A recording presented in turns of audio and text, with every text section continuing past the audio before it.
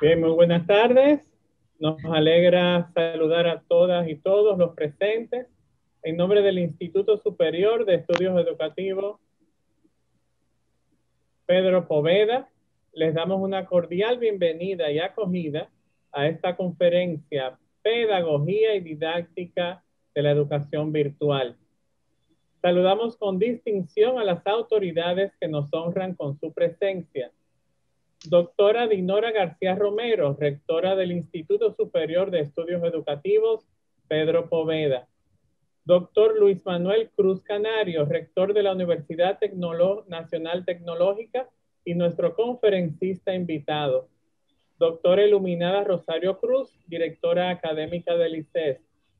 Doctora María del Pilar Domingo, directora de Asuntos Docentes y Estudiantiles del ICES.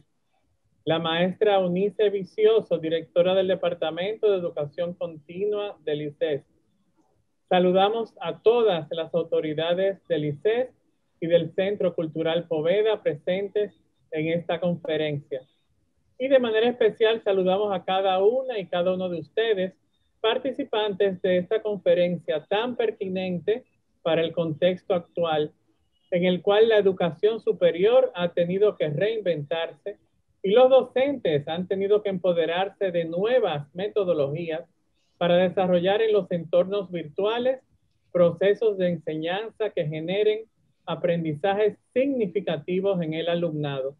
De ahí la importancia de los planteamientos, las ideas y estrategias que serán la piedra angular de esta conferencia en el día de hoy. Recibimos de inmediato a la doctora Dinora García Romero, rectora del Instituto Superior de Estudios Educativos Pedro Poveda, quien nos dirigirá las palabras de motivación a esta conferencia. Buenas tardes para todos los amigos de aquí del país y los amigos de otros países, que ya vemos que nos acompaña como una gran pedagoga del continente, Vera María Candó, que puede también aportar mucho. Pero celebramos sobre todo la solidaridad y el esfuerzo desplegado por nuestro invitado especial, el doctor Luis Manuel Cruz, que tiene una agenda muy intensa, pero que ha hecho un espacio especial para nosotros esta tarde. Al Instituto Superior de Estudios Educativos, Pedro Poveda, le preocupa mucho el que, sobre todo en el país, se pone un énfasis especial, pero casi exclusivo, en la calidad, calidad, calidad, calidad. No estamos en contra de la calidad. Nosotros estamos trabajando intensamente para que esa calidad sea real. Pero cuando hablamos de educación virtual y de la educación a distancia y todo, y la educación, todos los nombres que le hemos puesto a partir de la pandemia, se nos olvida la importancia, la fuerza que tiene la pedagogía y que tiene la didáctica en el arte de enseñar y también en el arte de aprender. Porque hablar de enseñanza es hablar de arte y hablar de aprendizaje también hablan de arte. Pero entonces la pedagogía es una ausente, no hablamos de eso. Y en el ámbito de la educación superior, nosotros necesitamos profundizar sobre la pedagogía de la educación virtual, la didáctica de la educación virtual. Por eso, esta, este intercambio con el doctor Cruz es muy fundamental y tenemos que tratar de aprovecharla al máximo, porque hay muy pocas reflexiones en esa dirección en el país. Sí. Y la pedagogía no es cualquier cosa. Ya nosotros sabemos que es una ciencia, pero en el caso que nos ocupa la educación virtual, que no se habla, por lo menos aquí en este país se habla muy poco de esa pedagogía, nosotros tenemos que recuperar el valor, el sentido, la necesidad de la fuerza que tiene esa ciencia, de la potencialidad que tiene esa ciencia para impulsar la innovación, pero sobre todo la construcción de sentido en ese trabajo virtual, en esa experiencia. Por eso eh, quiero que todos estemos como muy atentos y animados a participar también en el momento que se abra para que todos los convocados aquí puedan aportar. Necesitamos impulsar esa dimensión en ese trabajo vinculado a la educación virtual. La pedagogía y la didáctica no pueden estar ausentes. Y tenemos también que, yo diría, también repensar esa pedagogía y repensar esa didáctica porque nosotros estamos en un contexto de pandemia donde lo de ayer ya puede estar distante a lo de hoy. Con esa apertura, con ese ánimo, vamos a acoger los, las aportaciones y todo lo que nos pueda eh, compartir hoy el doctor Cruz, un hombre inquieto, pero además que tiene una experiencia bastante larga en este ámbito. Buenas tardes y que aprovechemos todo lo que sea posible esta tarde. Muchas gracias, doctora Dinora, por estas palabras que nos ponen en contexto con miras a este espacio que vamos a compartir, esta interesantísima conferencia. Recibimos ahora a la maestra Unice Vicioso, directora de Educación Continua del ICES, quien realizará la presentación de nuestro conferencista, el doctor Luis Cruz. Gracias, Luis. Eh, a manera eh, resumida, vamos a presentar una síntesis del conferencista de esta tarde. Inicia su formación de educación superior en el Instituto Tecnológico Santo Domingo INTED, logrando el título de Ingeniería en Sistemas. Prosigue su formación en dos áreas, la gestión universitaria y la aplicación de las tecnologías de la información y la comunicación. A manera de ejemplos tenemos Maestría Internacional en Gestión Universitaria, MIGU, Universidad Alcalá de Henares, Madrid. Maestría Ejecutiva en Dirección de Recursos Humanos con doble titulación de las Escuelas de Organización Industrial EOI de Madrid, España Actualmente cursa un doctorado en Administración Gerencial en la Universidad Benito Juárez, Puebla, México. También ha incursionado en el área de investigación. Tenemos incidencia de la gestión del conocimiento en el desarrollo de personas en una institución de capacitación técnico profesional en la República Dominicana caso Centro de Tecnología Universal, Universal CENTO. También la incidencia de la administración del conocimiento en la productividad del proceso administrativo del Centro de Tecnología Universal, Universal CENTO, durante el periodo 2008. Actualmente se desempeña las funciones de rector en la Universidad Nacional Tecnológica, UNACTE, y director académico del Centro de Tecnología Universal, CENTU.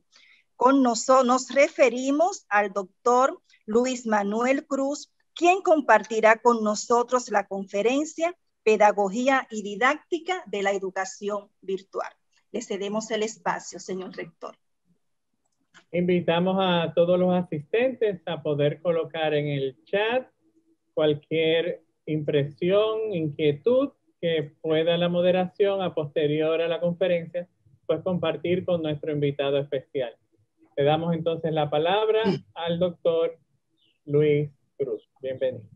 Gracias, gracias. Un placer para mí en lo personal y para la Universidad Nacional Tecnológica UNATEC, el que el Instituto Poveda pueda compartir experiencias a nivel de pedagogía didáctica de educación virtual con un maravilloso público, tanto local como internacional. Mi nombre es Luis Manuel Cruz, rector actualmente de la Universidad Nacional Tecnológica. Vamos a proceder a trabajar unos minutos, compartir con esa gran audiencia eh, saberes, experiencias que porán en contexto lo que es la educación virtual en la realidad y qué debe hacer la República Dominicana, tanto el Ministerio de Educación Superior, Ciencia y Tecnología, para estar a tono con el desarrollo de las competencias que necesitan nuestros estudiantes. Vamos a ver un contenido sumamente amplio, tenemos 30, 35 minutos para ello. Eh, habrá una pequeña introducción, un objetivo general, conceptualizaciones sobre educación, pedagogía y didáctica. ¿Cuál es la relación en educación, pedagogía y didáctica? ¿Qué significa educación a distancia, virtual y en línea? Y un poco de historia de educación a distancia. ¿Cuáles son los elementos fundamentales del modelo pedagógico para la educación virtual? Esos elementos, tecnología, formación y capacitación, diseño instruccional y servicio y soporte. ¿Cómo se evalúan los aprendizajes en la educación virtual? ¿Cuál es el aseguramiento de la calidad de la educación virtual? Pregunto, ¿se aprende en la educación virtual? ¿Se desarrollan las competencias en la educación virtual? Unas pequeñas conclusiones y mis referencias y algunos contactos con el expositor, un servidor. El objetivo general de esta pequeña eh, participación en esta conferencia es edificar a los participantes sobre los términos pedagogía didáctica aplicados a la educación virtual a través de un conjunto de conceptos, herramientas tecnológicas que permitirán el uso correcto, repito, que permitirán el uso correcto en los ambientes de formación en tiempos del COVID-19. Educación, pedagogía y didáctica.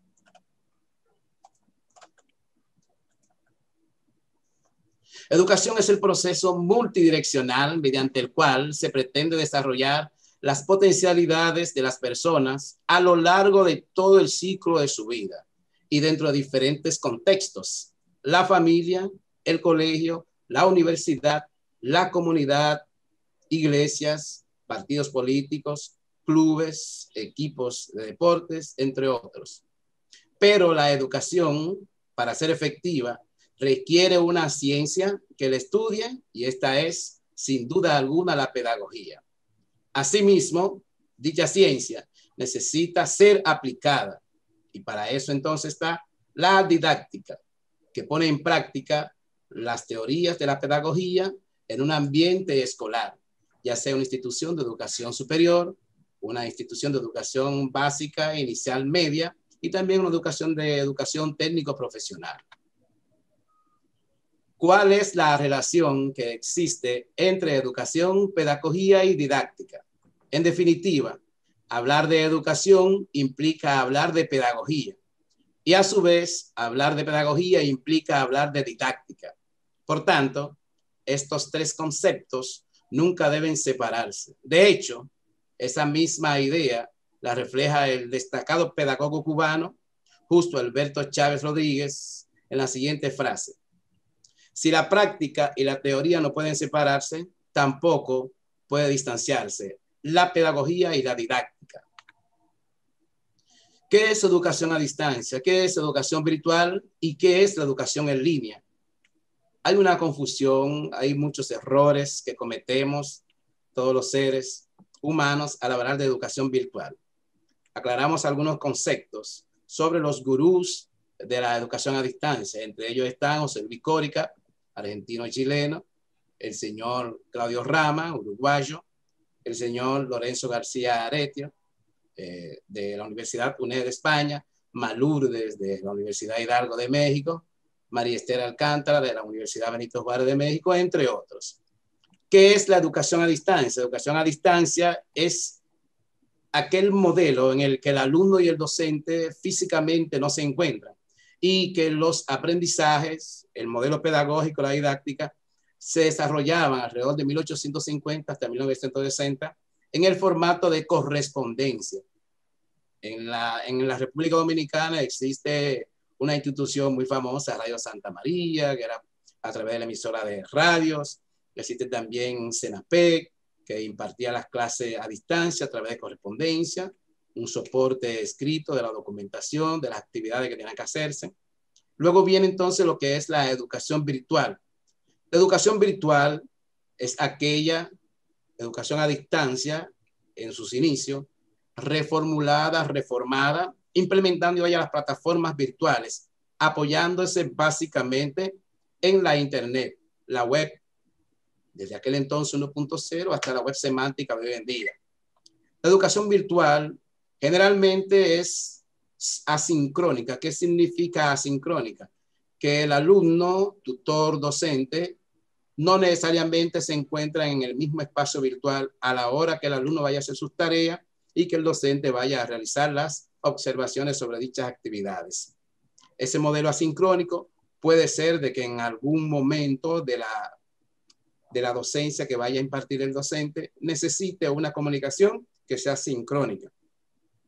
Sincrónica significa que el docente y el estudiante están a la misma hora en el mismo espacio virtual para dictar una teleclase, videoconferencia, una webinar, como en el caso que sucede a continuación con esta ponencia.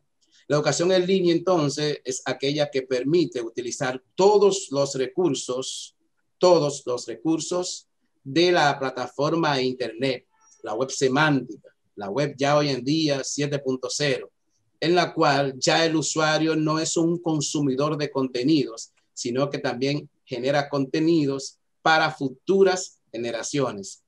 Ahí tenemos entonces una relación entre educación a distancia, educación virtual y educación en línea.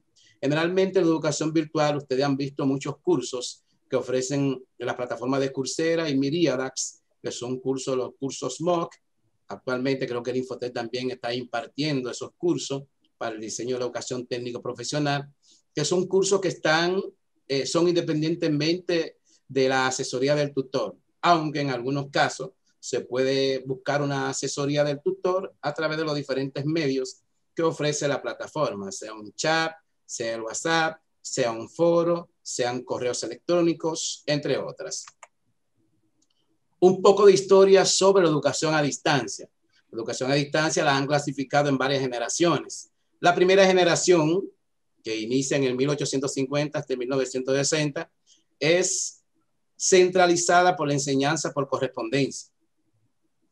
En aquel entonces, el estudiante recibía por correo postal las actividades, el material, estudiaba, realizaba los ejercicios, los enviaba al centro de estudio para su verificación y calificación, hasta que llega la segunda generación, que es la enseñanza multimedia.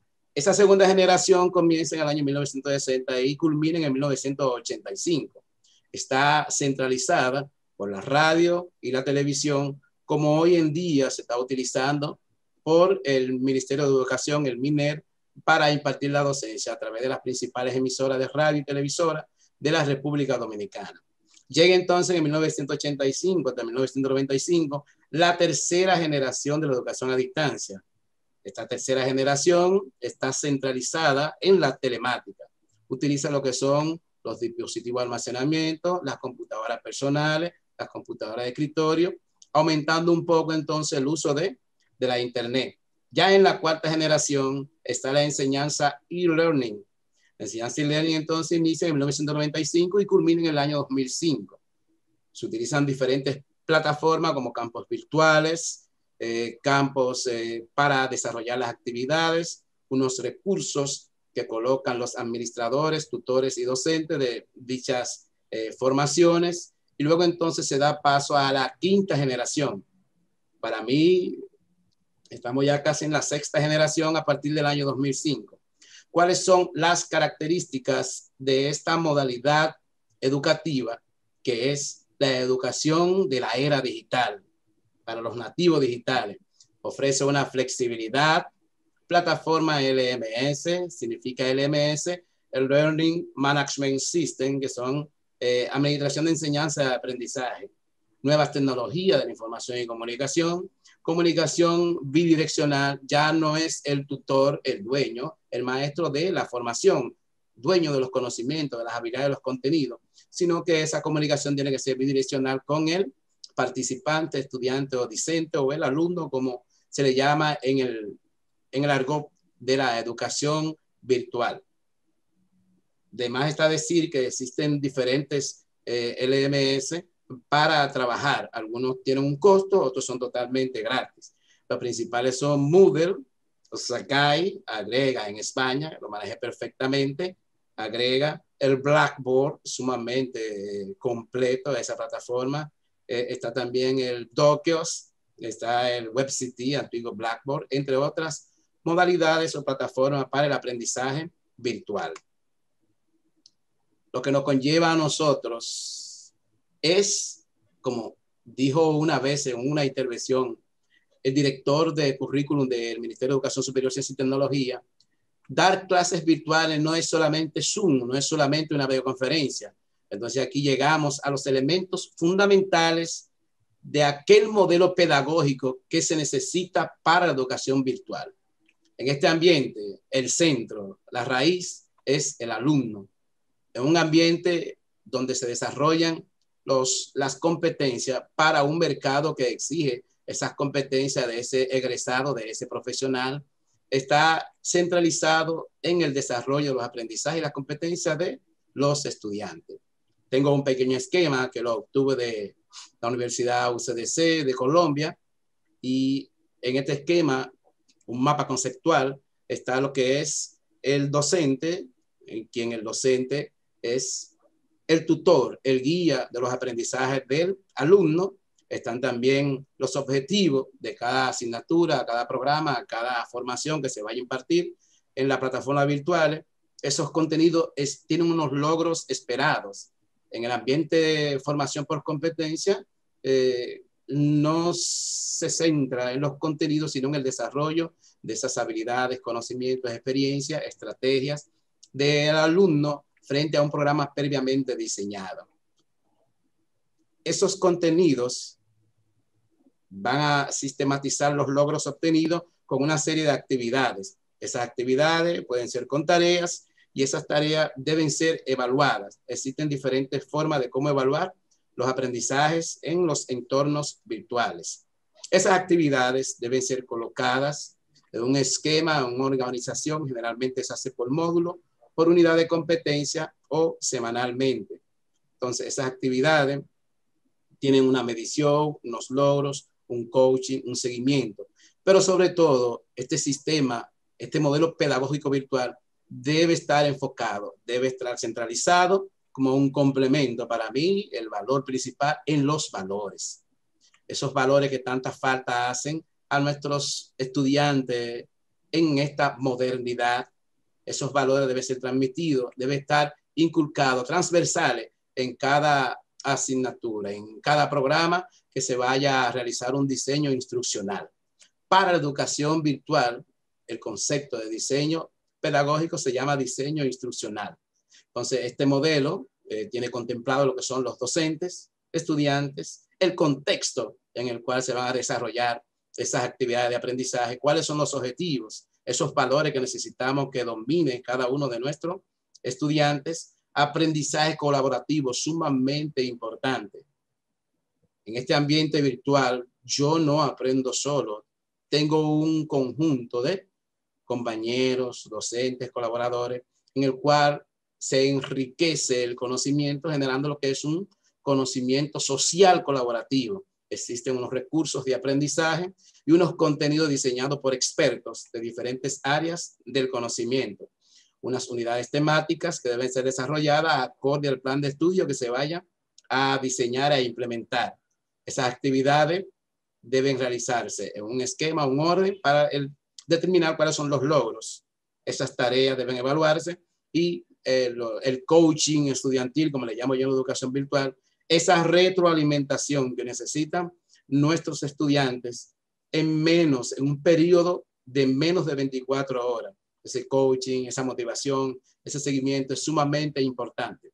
Haciendo un símil con las clases presenciales, yo como docente voy a un aula presencial, imparto mis dos horas, cuatro horas de docencia, termino, concluyo, corrijo tarea para un examen y para mi casa. En estos ambientes virtuales no. El ambiente virtual, el docente, el tutor, tiene que convertirse en un seguidor, un coach de esos aprendizajes para lograr el desempeño de esas actividades que se plasmaron en el modelo pedagógico establecido por la institución. Existen unos criterios también, unos indicadores de logro que me van a decir si el estudiante es competente o aún no lo es. En este sistema basado en competencia, no reprueban los estudiantes si no es competente o aún no lo es. Y por último, entonces, cuáles logros fueron alcanzados por los estudiantes en diferentes asignaturas, esos bloques que se preparan en los programas que ofrecen las instituciones de educación superior, los colegios, los institutos de formación técnico profesional, las escuelas vocacionales, liceos politécnicos, entre otros. ¿Cuáles son los elementos fundamentales que debe regir un modelo pedagógico para educación virtual? Recordemos siempre que la pedagogía se auxilia de la didáctica para implementar todas estas técnicas y herramientas que el docente debe dominar a cabalidad. Existen cuatro grandes áreas en las cuales un elemento de un modelo pedagógico debe centrarse. Inicialmente debe ser la tecnología, luego la formación y capacitación, el diseño instruccional y por último el servicio y el soporte que se van a brindar a los docentes y al alumno. La tecnología ¿Cuál es la importancia de la tecnología en este modelo pedagógico para la educación virtual? La institución que vaya a implementar un modelo de educación virtual debe contar primero con una infraestructura tecnológica sumamente poderosa, confiable, segura y que responda 24/7, los 365 días del año, sin sufrir interrupciones. Para eso existe el concepto de mirror, un espejo, de que si esta infraestructura falla, no sea visible para el docente, para el estudiante, para el participante, sino que automáticamente entre el respaldo, la seguridad, el espejo que estaba detrás de esa infraestructura llamada servidores. ¿Qué es un servidor? Un, servidor es un computador, para que me entiendan, eh, con unas características especiales, que está conectado a la Internet y que puede ser, se pueden acceder independientemente del lugar, el país, la región, la hora, el día, si es feriado, si es laborable, a, ese, a esos recursos que ofrece dicha infraestructura tecnológica. Debe tener unas características eh, sumamente eh, apreciables. Debe tener disponibilidad, un rendimiento y una capacidad para soportar las peticiones que se hacen o que hacen los alumnos, docentes, administrativos y académicos dicha infraestructura debe ser en tiempo real debe ser haber seguridad y privacidad de esa data, de esa información. La ley protege la información tanto de los usuarios como de los administradores de esa infraestructura tecnológica. La seguridad debe autenticarse, debe autorizarse a cada uno de los usuarios a tener acceso, acceder a esas partes de los servidores donde están las informaciones, los repositorios de esos eh, recursos para poder realizar las actividades. Debe tener un concepto de accesibilidad, fácil acceso a esos recursos, una navegabilidad que sea sumamente amigable, el look and feel, como le llamamos, usabilidad debe ser de un uso fácil, no que sea un tormento para acceder a unas informaciones, cómo buscar una tarea, cómo subir una, una tarea, cómo realizar un mapa conceptual, cómo realizar un portafolio. Y por último entonces en el área tecnológica lo que es el mantenimiento. Ese mantenimiento, cuando se vaya a dar un mantenimiento a la plataforma, debe hacerse sincronizado. Generalmente se hace en hora de la madrugada y subiendo otro servidor espejo, mirror, para que no haya ningún inconveniente a la hora que los estudiantes vayan a realizar sus actividades. El diseño instruccional es el dolor de cabeza de todo programa que se vaya a implementar en la educación virtual cuáles son los contenidos eh, que deben regir un diseño instruccional, así como nosotros, como universidades, enviamos unos programas para licenciatura, ingeniería, maestría, doctorado, especialidad al Ministerio de Educación Superior, Ciencia y Tecnología, formato digital, en formato físico, con un perfil de ingreso, perfil de egreso, las competencias, el bloque de asignatura, cuáles son los prerequisitos, los correquisitos, el sistema de evaluación, la bibliografía que se vaya a utilizar, la plataforma que se vaya a utilizar en modalidad eh, semipresencial o totalmente virtual o presencial, deben eh, estar congruentes, sistémicos. Como decía Peter Senge en su libro La Quinta Disciplina, hablando de arquetipos, todo debe verse como un sistema. En el diseño instruccional debe estar involucrado diferentes profesionales de diferentes áreas del conocimiento pedagogos, técnicos, diseñadores gráficos, diseñadores web, diseñadores de contenido, de multimedia, arqueólogos, en fin, ingenieros, todo tipo de profesión y área de conocimiento que aporte al diseño instruccional. Debe haber unas orientaciones generales para que eh, el tutor, el diseñador, el maestro, el docente, el directivo, eh, domine cuáles son los contenidos en los diferentes programas, cuáles son sus objetivos, cuáles contenidos se van a desarrollar, cómo, va a ser, cómo van a ser las interacciones en ese modelo que se vaya a implementar en la educación virtual plasmado, plasmado escrito en un diseño instruccional. ¿Cuál es el seguimiento? ¿Cuál es el coaching? ¿Cuál es la tutoría que se le va a dar a cada uno de nuestros participantes? Si hay deserción en la educación presencial, entonces extrapolamos, inferenciamos de que esa deserción podría ser mucho mayor en ambientes virtuales, donde el estudiante dice, estoy solo, no sé cómo navegar en esta situación, no sé cómo desarrollar mis ejercicios, mis actividades para colocarlas si tengo un límite de tiempo para subir dichas actividades y tareas. ¿Cómo se van a evaluar esos aprendizajes? Evaluación de esos aprendizajes está más adelante descrita, debe ser en los tres dominios del conocimiento, saber, saber hacer y saber ser. El otro acápite principal de un diseño instruccional para la educación virtual es la formación y capacitación, tanto al equipo docente como a los alumnos. Una vez se haya diseñado la plataforma, se hayan colocado todos los elementos definidos en el diseño instruccional, debe entonces darse una formación y capacitación a todo el personal que vaya a trabajar con la infraestructura tecnológica para la educación virtual. Y por último, y no menos importante, para mí, lo más relevante, el servicio y el soporte, tanto al alumno como al docente, al directivo y académico. ¿Qué se logra con el servicio y el soporte? Que cualquier servicio de información, cualquier solicitud, ustedes no se imaginan cuando un estudiante o un docente no encuentra eh, dónde solicitar, a quién preguntarle, qué hace, tiende siempre a abandonar la formación virtual. Entonces ahí es que debe estar lo que es el servicio y el soporte.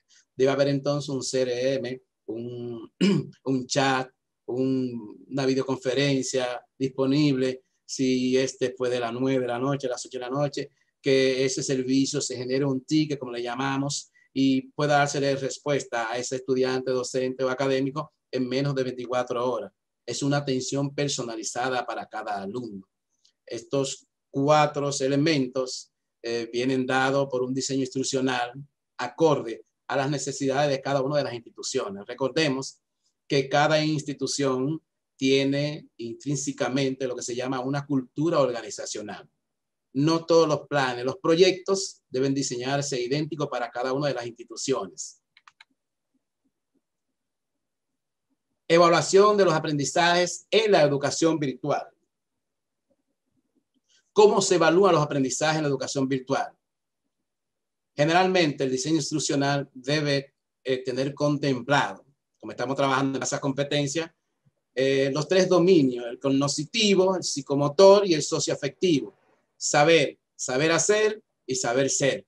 Esa evaluación debe plasmarse en unos instrumentos, unas reglamentaciones, unas normativas, que sea diagnóstica a la entrada a la asignatura de la materia, que sea formativa y que sea sumativa. ¿Qué es la evaluación? La evaluación se puede definir como un conjunto de operaciones que tiene por objetivo determinar y valorar los logros alcanzados por los alumnos en el proceso de aprendizaje con respecto a unos objetivos que en el diseño instruccional fueron planteados en los programas de estudio de cada carrera, cada especialidad, cada maestría, etc. Me preguntan, ¿hay confiabilidad en la evaluación en los entornos virtuales? Yo respondo que sí. Existen múltiples herramientas que aseguran, que aseguran que el alumno que realizó una actividad de evaluación una actividad, una tarea, un cuestionario, un examen, una wiki, un glosario de términos, es quien en realidad desarrolló esos contenidos. A continuación, les presento las principales plataformas y herramientas de evaluación en ambientes virtuales son sumamente seguras, confiables. En este portal, educación3.0.com, pueden encontrar ejemplos de algunas herramientas algunas de uso gratuito, otras tienen un costo mínimo, 25 herramientas para evaluar a los estudiantes en plataformas virtuales. ¿Cuáles son las principales plataformas que se utilizan para evaluar los aprendizajes? Bueno, tenemos ahí Microsoft Teams, SharePoint, que es de Microsoft también.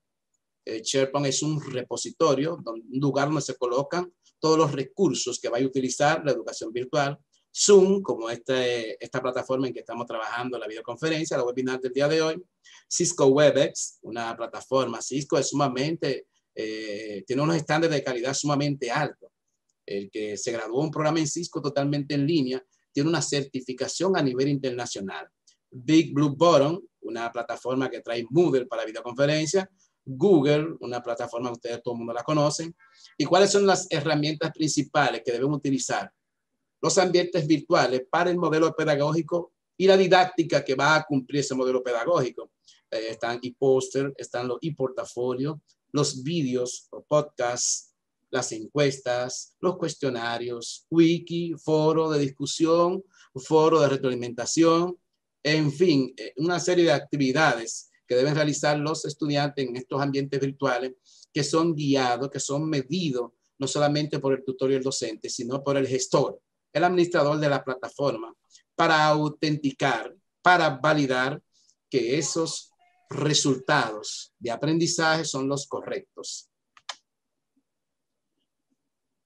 Aseguramiento de la calidad en la educación virtual.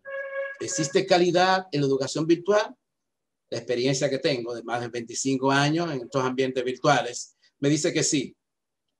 Claro, esto es una responsabilidad casi total del participante, del estudiante, guiado por un compromiso del tutor académico y de la institución. CALED es el Instituto Latinoamericano y del Caribe de Calidad en Educación Superior y a Distancia. CALED es un proyecto que viene desde el 2005 en Latinoamérica. Está en la, quien lo encabeza es la Universidad Técnica Particular de Loja, la UTPL, en Ecuador, y eh, se basa en cuatro pilares fundamentales que lo describimos ya en el modelo anterior. La plataforma de tecnología, la formación y capacitación, un diseño instruccional acorde a la cultura organizacional de cada institución y un servicio y soporte. Yo les exhorto que luego de la videoconferencia puedan acceder a este portal. Eh, para acceder a la página web es calet-eda, educación a distancia.org. Se aprende en la educación virtual. Gran pregunta. Todo el mundo me hace dicha pregunta. ¿Qué es aprender? Aprender es adquirir el conocimiento de algo por medio del estudio, el ejercicio o la experiencia. ¿Qué es el aprendizaje entonces? Hablando de pedagogía y de didáctica. El aprendizaje es el proceso a través del cual se modifican y adquieren habilidades, destrezas, conocimientos, conductas y valores. Esto como resultado del estudio, la experiencia, hablando del conocimiento en aquel entonces, Aristóteles, Platón, la instrucción, el razonamiento y la observación. Muchos especialistas de la construcción de la pedagogía la didáctica y la educación, como Jean-Jacques Rousseau en su obra El Emilio, habla de lo que debe ser la educación normal para ese joven llamado Emilio, que nace en una sociedad que luego se distorsiona el proceso de educación a través de la corrupción, que es el mensaje que quiere dar, los efectos de la sociedad encima de esa formación, esa educación de ese joven que tenemos en nuestra sociedad de hoy en día. Nosotros como forjadores de valores tenemos no solamente que eh, enseñar, aprender, desarrollar competencias, sino inculcar valores, valores, decía de la Cortina en su libro Ética, Mínima, Ética Mínima, valores, lo que es eh, el objeto de lo moral. Existen, por ejemplo, diferentes tipos de herramientas para evaluación, si se aprende o no en el entorno de desarrollo. El dominio y desarrollo de los aprendizajes se logra a través de la plataforma virtual. Para mí, algunos eh, críticos de educación virtual dirán que no, para mí es 100%. Se logra aprender con un apoyo y seguimiento sistémico del tutor, claro que sí. Si existe un buen diseño instruccional, un modelo pedagógico adaptado a una institución de educación superior, un centro operativo del sistema, una unidad de educación continuada, etcétera. Si existen las herramientas, si existe un buen diseño instruccional que en esta pandemia COVID-19 no se pudo lograr. Espero ya que para eh, un futuro muy lejano las instituciones vayan acoplando ese modelo educativo basado en un diseño instruccional propio de cada una de las universidades. ¿Se desarrollan las competencias en la educación virtual? Claro que sí, yo soy partícipe de ello y eh, un ejemplo vivo de que la educación virtual por competencia, el diseño instruccional es fundamental en el desarrollo de las competencias. Una institución de educación superior, en este caso universidades, con una buena plataforma tecnológica, un personal capacitado, una buena gestión de esa plataforma tecnológica, con un diseño instruccional basado en competencia, se lograrán, se lograrán lo que es el desarrollo de esas competencias. Unos buenos criterios, herramientas y técnicas y normativas para evaluar eh, esas competencias. Actualmente el reglamento de evaluación de los aprendizajes del MESI contempla evaluación 70-30, pero ya con la reformulación de la ley 139-01, todo eso va a cambiar. Se podrá evaluar totalmente virtual, 100%, claro, con la autenticación y la autorización de las autoridades académicas de cada una de las instituciones. En la evaluación por competencia, el alumno es competente o aún no lo es. Como conclusiones, entonces, no sé si estoy en tiempo todavía, como conclusiones, se definen lo que son los conceptos de educación, pedagogía, la ciencia que trabaja la educación, y la didáctica para aplicar los conceptos, la normativa establecida en la pedagogía. ¿Cuál fue la relación que existe entre educación, pedagogía y didáctica? Las tres tienen que estar unidas. Fuerza. Educación a distancia, educación virtual, educación en línea. Vimos la educación a distancia en sus inicios en 1850, trabajando por correspondencia. Luego la educación virtual, auxiliándose del Internet. Y ya la educación en línea, implementando la nueva tecnología de información y comunicación. Recientemente hay estudios que eh, se implementará lo que es la inteligencia artificial el Big Data para analítica predictiva y eh, la automatización robótica por proceso para trabajarla con la educación virtual y en línea. Vimos un poco de historia de las generaciones de la educación a distancia, desde 1850 hasta el 2005, hasta nuestros días. ¿Cuáles fueron los elementos fundamentales del modelo pedagógico? Hablando de pedagogía y didáctica en educación virtual, se enumeraron los cuatro principales la tecnología, infraestructura tecnológica segura y confiable, la formación y capacitación tanto de los alumnos como de, del personal docente, un diseño instruccional que debe ser avalado por la institución y el Ministerio de Educación, conformado por un equipo interdisciplinario y por último y no menos importante, el servicio y soporte que se deben dar a esos aprendizajes a través de las plataformas virtuales. Eso es sine qua non. Evaluación de los aprendizajes, existen herramientas, le dejé un portal para que puedan acceder a él, herramientas para trabajar con lo que son los aprendizajes y la evaluación de los mismos eh, a través de diferentes herramientas y diferentes medios. Aseguramiento de la calidad, hablamos del Instituto CALET, aseguramiento de la calidad para América Latina y el Caribe, la educación superior a distancia, y si, mi tesis de que sí se aprende la educación virtual. Eh, la institución que cumpla con esos requerimientos anteriormente descritos, si se logra lo que es el aprendizaje. Se desarrollan las competencias en la educación virtual, claro, concluyendo el aprendizaje, si se logra aprender, eh, es directamente proporcional al desarrollo de las competencias que deben, eh, cuando salga un, un estudiante, un egresado de uno de nuestros programas, cuando vaya al mercado laboral, no encuentre esa diferenciación extrema que anteriormente se daba en la formación en las instituciones con lo que demanda el mercado en la actualidad. Eh, referencias y contactos, un servidor Luis Manuel Cruz, Universidad Nacional Tecnológica, la que represento en este entonces, para cualquier contacto, info www.unatep.edu.do y en las redes sociales pueden encontrarnos como UNATEC RD. El teléfono 809-731-3200. Mis contactos personales están en pantalla. lcruz.unatec.edu.do. En las redes sociales pueden encontrarme como Cruz Canario y mi website personal lcruzcanario.com. 809-975-3134. También contiene WhatsApp y un proyecto personal que vengo trabajándolo desde el año 2012 para apoyar el desarrollo de la juventud no solamente dominicana, sino a nivel internacional. Se llama Revista Informativa Dominicana, Revista RIDO.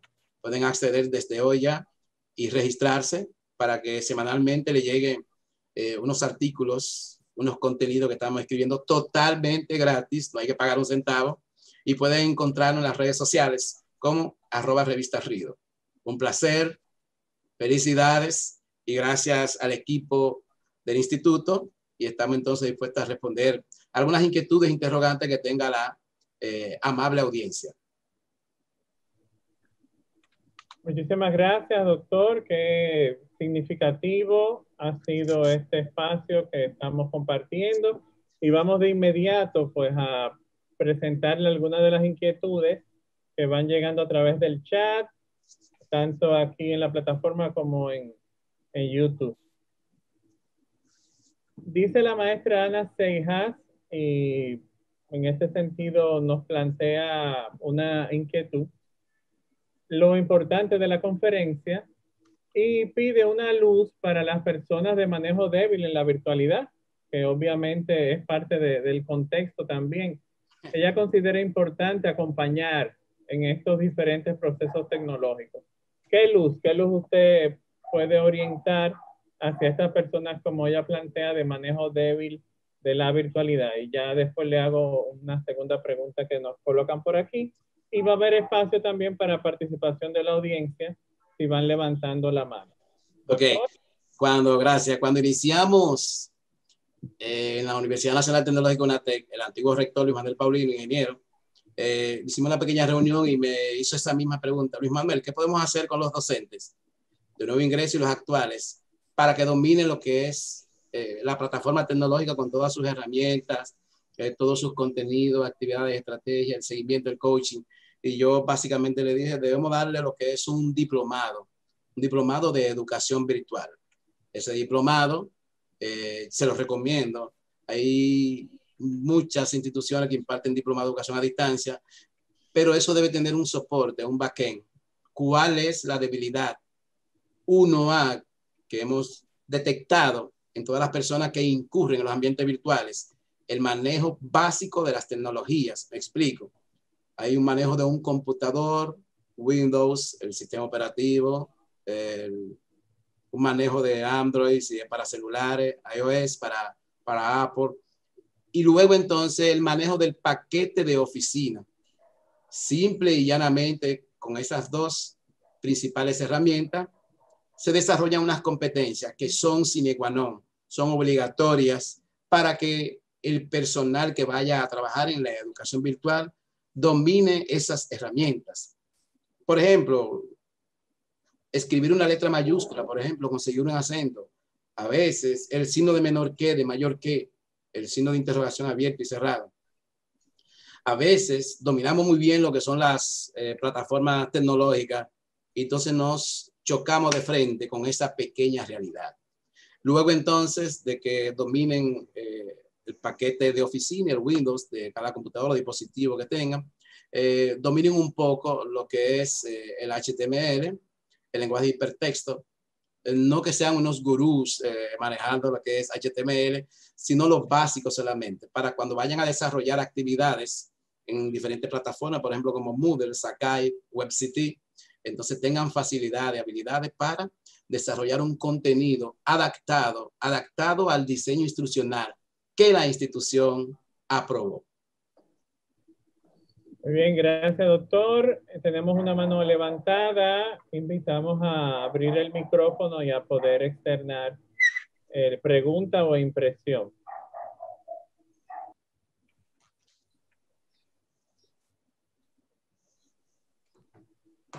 Bien, parece que no está lista esta pregunta, entonces sigo planteando. El señor Eduardo Villanueva que nos acompaña dice, ¿podría hablarnos de los simuladores para la educación virtual? Claro que sí, eh, como les comentaba antes de iniciar la ponencia, en el MIT eh, participé en una videoconferencia de un simulador de, un laboratorio de química. Existen simuladores, creo que el, el MESI y el MINER están haciendo acuerdos eh, con organismos internacionales para adquirir esas licencias para desarrollar laboratorios de química, de estática, termodinámica, topografía, eh, geología, Todos esos laboratorios, física, química, de ciencia, que podemos realizar de forma presencial en nuestras instituciones, todos esos laboratorios se pueden montar sin ningún problema en el entorno virtual. ¿Cuál es eh, la única eh, desventaja que veo en esto? Es el costo por laboratorio. Pero el MESI y el MINER pueden hacer acuerdos interinstitucionales con organismos nacionales e internacionales para abarotar los costos por licencia por eh, institución por estudiante.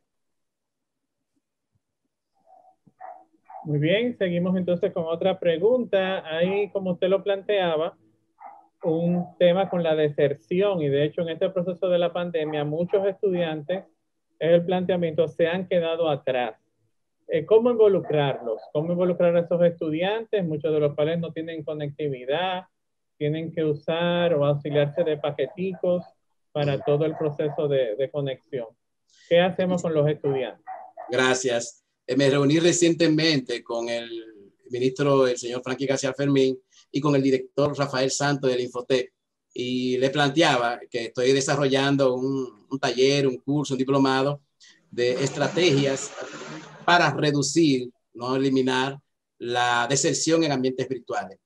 ¿Cuáles, eh, ¿Cuáles son las dificultades? Hay diferentes dificultades, tanto personales, económicas, de salud, pero la básica de ella es, financiera. La mayoría de nuestros estudiantes, inclusive el Ministerio de Educación Superior, hizo un auspicio en el cuatrimestre de septiembre-diciembre, eh, le llamó bono estudiantil. Eh, con eso hubo una gran reinserción de, la, de, los estudiantes en la matrícula universitaria, pero creo que con un sistema que se desarrolla entre las tres instituciones principales del país, MINER, IFOTEP y el MESI, creo que pueden desarrollar estrategias, no solamente para la parte económica, sino también un equipo, un equipo de apoyo de la, de la conducta, psiquiatras, sociólogos, psicólogos, que permitan, que permitan eh, esos estudiantes que se hayan retirado por la pandemia, irlo reinsertando poco a poco, adecuándolo a la educación virtual no hay recursos, no hay internet. La ADOU, a la institución que pertenecemos nosotros, la Asociación de Universidad Dominicana, eh, hizo acuerdo con las diferentes compañías, Altis, eh, Claro y Viva, eh, Telecom también, para desarrollar estrategias para eh, facilitar a nuestros estudiantes que tengan acceso a Internet, para desarrollar las actividades en los ambientes virtuales. el diseño instruccional que planteamos da una opción. A veces nuestros estudiantes no tienen tampoco equipos tecnológicos, una laptop, un PC en su casa. Da una opción que es la que yo siempre recomiendo. Esas actividades, esas asignaturas, esas formaciones, programas que se colocan a nivel de un servidor, de una plataforma virtual, se pueden básicamente colocar en un equipo a nivel local, como hablamos anteriormente. ¿Qué significa esto? Que cuando yo no tengo acceso a Internet, puedo trabajar de forma local en mi computadora con todas las actividades y luego al conectarme al Internet, puedo entonces eh, fusionar esas actividades con la plataforma virtual. Eso debo contemplarlo, el diseño instruccional de cada asignatura, de cada programa en la educación virtual. Muy, muy interesante eso, esos planteamientos. La doctora Iluminada Cruz, Rosario Cruz nos dice, esta pandemia del COVID nos ha dejado de enseñanza que de ahora en adelante la educación no solo será presencial, que será una modalidad híbrida, lo que tenemos en el horizonte. Por eso la alfabetización virtual del personal se hace urgente y conocer esa pedagogía y didáctica de la virtualidad. Pregunta, ¿ustedes como universidad tecnológica están diseñando cursos, diplomados, etcétera, para el profesorado nacional de las universidades? Eh, voy a cometer una indiscreción y eh, tenemos un acuerdo con el, el INAFOCAN, el Instituto para el el Magisterio de Educación Pública en, el país, estamos diseñando ya unos proyectos para someter a INAFOCAM que tiene que ver con todo lo que es el diseño pedagógico y didáctico eh, auspiciado de las tecnologías para ser implementado totalmente virtual a nivel local, a nivel nacional. Y también, ¿por qué no a nivel internacional los docentes que se encuentren fuera del país? Sí, la Universidad Nacional Tecnológica está trabajando en diferentes diplomados, cursos y talleres eh, que lo vamos a impartir a nivel de, del MINER a través de INAFOCAN, si Dios lo permite, a partir del mes de, de septiembre, de, junio, perdón. Eh, para aquellos que, que, necesiten, voy a hacer un poco de marketing ahora, para aquellos que necesiten eh, reforzar, investigar sobre pedagogía didáctica en ambientes virtuales. Eh, tengo un libro que ya el 16 de junio sale en Amazon. Luego entonces me sigan en mis redes sociales, en mi portal web. Voy a publicarlo ahí. Eh, un costo módico para nuestros eh, público dominicano para que puedan descargarlo. pues va a estar también un iBook y también estará impreso a solicitud en Amazon para que le pueda llegar a cada uno de los, eh, este, esta teleaudiencia que nos está acompañando en el día de hoy. Y creo que será de mucha ayuda para eh, el país. Muy bien, eh, siguen las preguntas. Este tema es apasionante, ¿no? Es un tema en este aspecto vital, lo emocional, dice la maestra Joanna Iris de los Santos. Entendiendo que la tecnología es un recurso elemental y fundamental, ¿no? Para la educación de la nueva normalidad. ¿Cree usted que por medio de ella se puede complementar los factores emocionales necesarios para el aprendizaje? Eh, eso es un tema de discusión.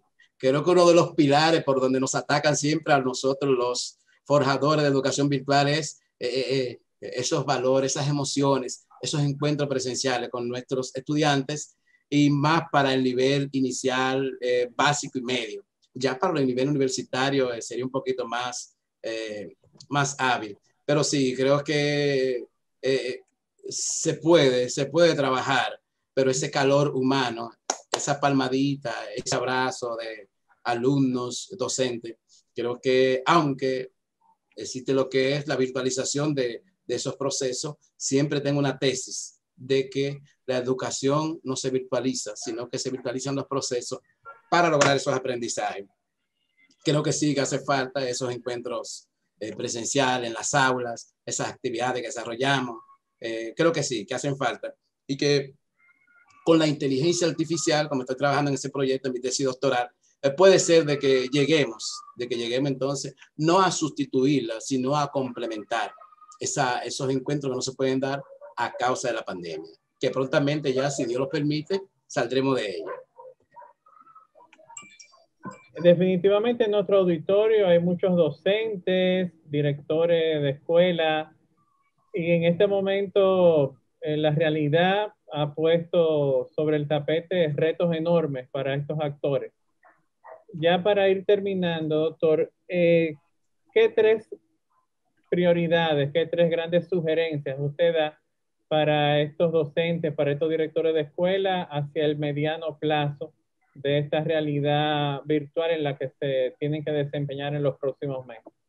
Bueno, como dijo el, señor Fulcar, el ministro de Educación eh, del MINER, eh, la virtualidad no va a desaparecer. ¿Qué yo recomiendo? Tres opciones principales. Primero, eh, cambiar el chip, el break, de que ya la educación virtual vino para quedarse, lo primero. Hacer un autodiagnóstico, qué domino, qué no domino, cuáles son mis, un FODA, mi fortaleza, mis oportunidades, mis debilidades y mis amenazas.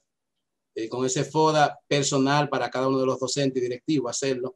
Y luego entonces hacer un plan de mejora para eh, esas debilidades, llevarla, convertirla en oportunidades, y esas amenazas, retenerlas. Entonces sí, ya tener un plan, el diseño curricular que se vaya a implementar por competencia del MINER y del MESI con las universidades, apoyar entonces lo que es eh, la virtualidad, aunque se retorne en un futuro no muy lejano a la presencialidad en las aulas. El docente tiene que capacitarse, tiene que formarse, tiene que leer, tiene que educarse, debe tener acceso, que lo están haciendo las autoridades, a equipos tecnológicos y al acceso al Internet. Todo lo que se vaya a utilizar debe estar conectado a través de, del Internet. Las compañías telefónicas, las prestadoras de servicios de telecomunicaciones, deben hacer un aporte a la sociedad dominicana, facilitando esa conectividad, ese ancho de banda, llevarlo, eh, adquirir tecnología para el 5G y luego entonces eh, auspiciar eh, el desarrollo, la capacitación de todos nuestros docentes, que a la larga o a la corta son aquellos que están sembrando las zapatas para el futuro de la nación.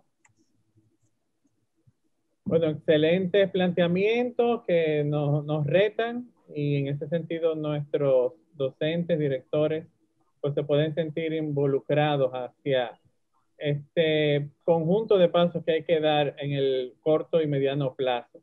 Vamos a dar la bienvenida a nuestra directora de Asuntos Docentes y Estudiantiles, la maestra María del Pilar Domingo, que nos va a dirigir las palabras de clausura de esta conferencia. Bienvenida, maestra.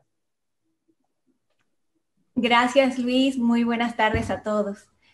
Eh, bueno, doctor Luis Manuel Cruz, para el Instituto Superior de Estudios Educativos Pedro Poveda ha sido un gran honor tenerlo con nosotros y disfrutar de sus sabias reflexiones, opiniones y conocimientos que están avalados por su reconocida experiencia profesional en el campo de la educación virtual, la tecnología, la gestión universitaria, la gestión del conocimiento, y la producción de programas y softwares sumamente importante para, como recurso tecnológico en la educación.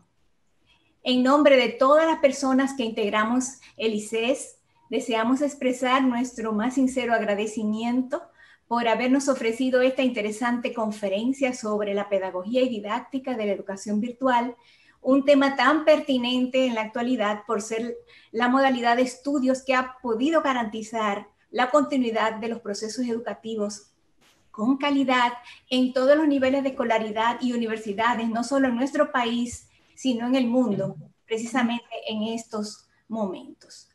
La capacidad de innovación y de educación ante las adversidades presentes ha hecho que tengamos que comprometernos con estas nuevas formas de enseñanza y aprendizaje a distancia y virtual basadas en la tecnología, a pesar de las grandes diferencias de acceso existentes en la población estudiantil que pudiera haber.